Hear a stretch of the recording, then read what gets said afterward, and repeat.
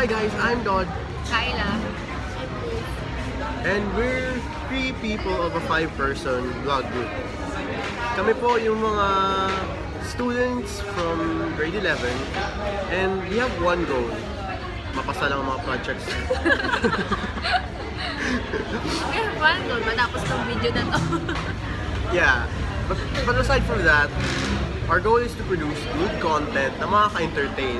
So abangan nyo yung mga corny side comments ko, yung mga out of the blue hugot lines ni Liz, at yung mga kung ano-anong pinagsasabi ni Kyla na minsan hindi ko magets.